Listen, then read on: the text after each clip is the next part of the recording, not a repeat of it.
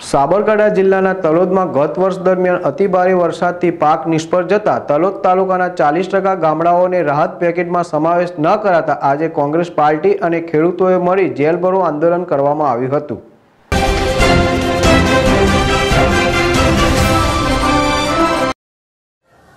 Congress party અને ખેડૂતો મળીને જેલભરો આંદોલન કરવામાં આવ્યું હતું. જ્યારે તલોદ તાલુકાના એસઆરમાં સમાવેશ ન થતા ખેડૂતો રોષે ભરાયા હતા. કોંગ્રેસ પાર્ટી દ્વારા જણાવવા મળેલ કે તલોદ તાલુકા કોંગ્રેસ પીડિત હોવાથી તલોદ તાલુકાને સતત અન્યાય કરવામાં આવી રહ્યો છે.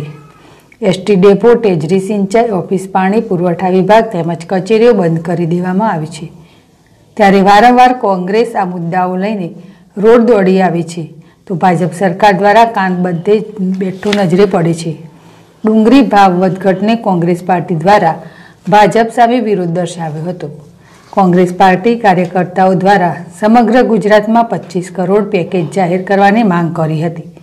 જો પેકેજ જાહેર નહીં કરવામાં આવે, તો ગામડે ગામડે રેલી કાઢીને લોકોને જાગૃત કરી અન્યાય જવાબ આપીશું. આ કોંગ્રેસ દ્વારા કરવામાં આવેલા વિરોધ પ્રદર્શનમાં આશરે સો જેટલા ખેડૂતો અને કોંગ્રેસ કાર્યકર્તાઓ અટકાયત કરવામાં આવી હતી. અર્જુનસિંહ પરમાર, જેડેશ ટીવી, તલોદ.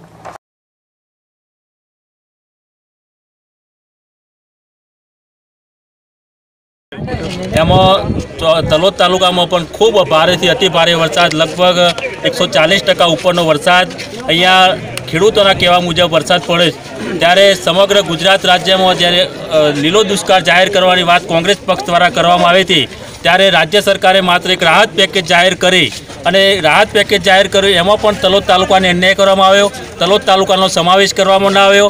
ત્યારે કોંગ્રેસ પક્ષ દ્વારા છેલ્લા પચીસ દિવસથી સતત લડત ચાલુ કરી અને લડતના ભાગરૂપે છેલ્લા બે ત્રણ દિવસ પહેલાં મને મળેલી માહિતી મુજબ લગભગ તલોદ તાલુકાના સાઠ ટકા ગામોને નો સમાવેશ કરવામાં આવ્યો. પણ હજુ પણ જે તલોદ તાલુકાના ગામો સાથે ભેદભાવ કરી અને અને અંદર અંદર ઝઘડાવાની નીતિ કરી અને રાજ્ય સરકાર દ્વારા સાઠ ટકા ગામોને એમાં સમાવેશ કરવામાં ચાલીસ ટકા ગામોનો સમાવેશ કરવામાં નથી આવ્યો. ત્યારે અમારી કોંગ્રેસ પક્ષની સંપૂર્ણ માગણી છે કે તલોદ તાલુકાને સંપૂર્ણ આ જે એસડીઆરએફ પેકેજમાં જાહેર કરી અને તલોદ તાલુકાના તમામ ખેડૂતોને રાહત પેકેજ મળવું જોઈએ, એ મારી, અમારી માગણી છે. આ સિવાય પણ તલોદ તાલુકાને ભારતીય જનતા પાર્ટીની સરકાર દ્વારા છેલ્લા સતત વીસ પચીસ વર્ષથી સતત અને જ્યારથી તલોદ તાલુકો અલગ થયો, ત્યારથી અન્યાય કરવામાં આવી રહ્યો છે. તલોદનો એસટી ડેપો જે એ ગ્રેડનો એસટી ડેપો હતો કે સમગ્ર સાબરકાંઠા જિલ્લામાં સૌથી વધુ નફો કરવાવાળો એસટી હતો, તેમ છતાં બંધ કરી નાખ્યો. તલોદની ટ્રેઝરી ઓફિસ બંધ કરવામાં આવી. એ સિવાય તલોદની સિંચાઈની ઓફિસ હોય, પાણી પુરવઠાની ઓફિસ હોય, આ બધી જ એક રાજકીય કિન્નાખોરી રાખે અને જે જ્યારે ભારતીય જનતા પાર્ટી સરકાર દ્વારા બંધ કરવામાં એનું મુખ્ય કારણ હોય, તો તલોદ તાલુકો એ કોંગ્રેસ પીડિત તાલુકો છે અને કોંગ્રેસ પીડિત તાલુકો હોવાને કારણે ચલો ભારતીય જનતા પાર્ટી દ્વારા સતત અન્યાય કરવામાં આવે છે. હજુ પણ અમારી સરકારને ચેતવણી છે કે જો આ તાત્કાલિક ચાલુ નહીં કરવામાં આવે એ ચાલીસ ટકા ગામોનો સમાવેશ નહીં કરવામાં આવે તો આ તલબ તાલુ આ ચાલીસે ચાલીસ ટકા ગામોમાં કોંગ્રેસ દ્વારા પદયાત્રા કરી અને લોકોને જાગૃત કરી અને અન્યાયનો જવાબ આપવામાં આવશે. છપ્પન લાખથી વધારે ખેડૂતોને સહાયની વાત કરવામાં આવી છે. ભાજપ દ્વારા કરવામાં આવેલી આ સહાયને આપ કઈ રીતે મૂલવો છો? જ્યારે રાજ્યમાં ભારે વરસાદ પડ્યો હોય તો આપણા મુખ્યમંત્રી જો દોઢસો કરોડનું વિમાન ખરીદતા હોય, તો જ્યારે રાજ્ય સરકારે ખેડૂતોની ચિંતા કરી ખેડૂતોએ તમે જોયું છે બે હજાર ઓગણીસની ચૂંટણીમાં ખેડૂતોએ મત આપ્યા હતા, તો રાજ્ય સરકારની અને દેશની કેન્દ્રની સરકારની જવાબદારી ત્યારે સહાય પેકેજ મળવું જ જોઈએ અને એવી કોંગ્રેસે પણ માગણી છે કરી છે. આજે જે રાહત પેકેજ જાહેર કરવામાં એ ખૂબ ઓછું છે. આનાથી પણ કોંગ્રેસ પક્ષે જે માગણી કરી છે, પચીસ હજાર કરોડનું પેકેજ આખા સમગ્ર ગુજરાત રાજ્યના ખેડૂતોને આપવું જોઈએ.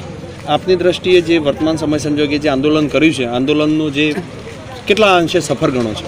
આ આંદોલન આજે સંપૂર્ણ રીતે આપ પણ પ્રેસના મિત્રોએ જોયું છે અને અમે છેલ્લા પચીસ દિવસથી લડીએ છીએ અને હજુ પણ સતત લડવાના છે. હજુ પણ આપણા પ્રેસના માધ્યમથી કહું છું કે અમે જો હજુ પણ ચાલીસ ટકા તલોદના ગામોનો સમાવેશ નહીં કરવામાં આવે, તો દરેક જે ગામોનો સમાવેશ નથી કરવામાં આવે તમામ ગામોમાં પદયાત્રા કરવામાં આવે.